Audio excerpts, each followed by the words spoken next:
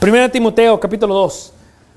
Y la razón por qué este punto es bien importante, porque muchos oran, hasta oran a, María, ¿verdad? Para recibir bendiciones y, y respuestas y, y, necesidades. Y dicen, no, tenemos que orar a, la Virgen María, tenemos que ver la Madre de Dios. Ella va al Padre, ¿verdad? Y, para nuestras oraciones y nuestras necesidades. Pero miren lo que dice 1 Timoteo capítulo 2, versículo 5.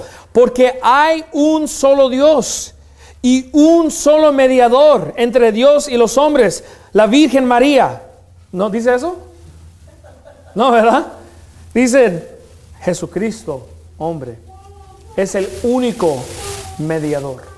No necesitamos a María, no necesitamos un sacerdote, no necesitamos un padre o el papa. ¿A quién necesitamos? El Señor Jesucristo.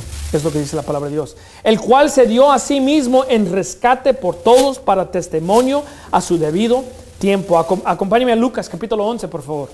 Lucas capítulo 11. Vamos a mirar otro ejemplo aquí. Versículo 27.